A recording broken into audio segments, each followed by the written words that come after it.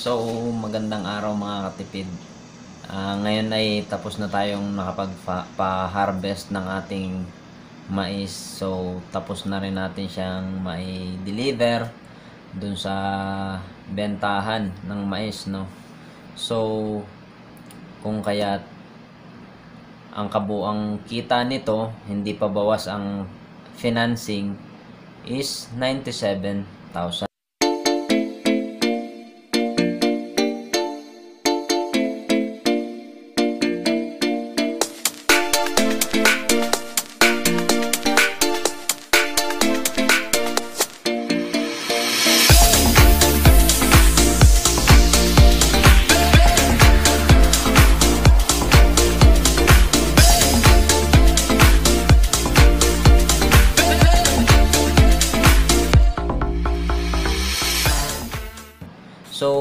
Pag-usapan natin kung bakit inabot lang siya ng 97,000. Pero guys, yung 97,000 na yun is malaking ano na yun, malaking bagay na yun kasi ah kumbaga hindi tayo lugi dun sa ating pagpapatanim. So, kumita tayo. So, ipapaliwanag natin kung bakit ganun yung naging kita natin. So, ang binhi namin dyan guys is Evogene. So, more or less, ah, gumastos tayo ng nasa ah, siguro, so ipapakita ko na lang sa inyo dyan kung magkano yung ah, binhi. So, ang naging financing namin dyan is almost 40,000. So, 97,000 ang ating kinita. And then, minus tracking pa yan ng 10,000. So, 10,000. Then, may pinabili pa tayo. So, nagkaroon lang na tayo ng 84,000 plus. So, dun sa 84,000 plus na yun, hindi pa kasi guys ah, ah, nababawas dun yung sa abono. So, pag nabawas yun, inabot siya ng nasa 40,000. So, nagkaroon tayo ng ah, return of investment na 44,000 plus. So, yun yung kinita natin guys sa loob ng apat na buwan na paghihintay ng ating tanim na mais, no? So, 44,000. Hindi na masama kasi bilang OFW dito sa Saudi Arabia guys, eh wala naman akong ginagawa kundi maghintay lang. Wala naman akong ginagawa kundi ah, hintayin yung ating ah, ipinatanim. So, ang ating puhunan lang naman dyan is pera.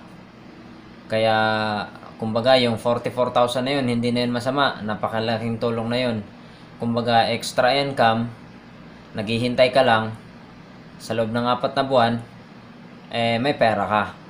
So, ano nga ba ang advantage kapag ah, OFW ka at meron kang extra income na tulad ng pagpa-farm?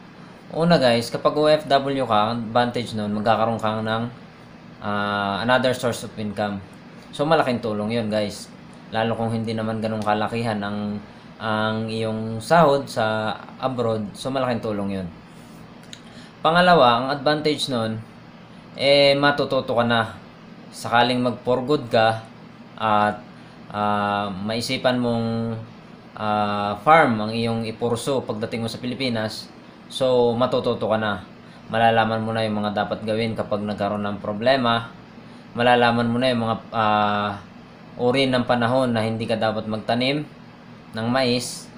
Malalaman mo na kung ano yung mga dapat mong gamiting abono. Ah, ma-observe mo rin yung mga binhing ginagamit mo. So ako kasi guys, ah, sa ngayon, tatlong beses ako nagpatanim, iba-iba yung ano, yung binhi na ginagamit. So ino-observe ko, alin ba sa mga binhi na yun ang mataas yung recovery. Pag sinabing mataas yung recovery guys, kapag na-dry na yung iyong yung iyong halimbawa, maganda yung ani mo. Ah, maganda yung tubo ng mais mo, umani ka ng maganda. Pero kapag na-dry na siya, titingnan mo rin kung mabigat pa rin ba siya. Kasi merong mga binhi guys na mababa yung recovery niya. Kahit napakarami mong harvest, pagdating ng na-dry na siya is mababa ang timbang. So yung isa yun sa ino-observe ko sa mga binhi. Pero ako guys ay baguhang farmer lang. Pero nung bata pa ako, yung mga magulang ko kasi nagtatanim na rin ng mais.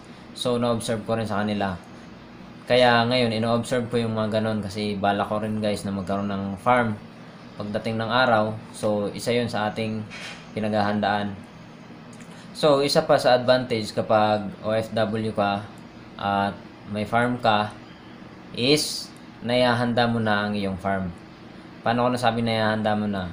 Siyempre, halimbawa, ah, balak mo talaga mag-farm pag uwi mo ng Pilipinas. So, may design mo na siya sa kung anong gusto mong maging design niya pagdating ng araw. Halimbawa, dito sa part na to, maglalagay ako ng fish pond. Sa part na to, mga fruit bearing trees ang itatanim ko. Sa ganitong part, uh, ila-landscape ko siya. So, may prepare mo siya. So, ano naman guys, ang disadvantages kapag OFW farmer ka. Unang disadvantages dyan guys is pera talaga. Pera yung pinagagalaw mo.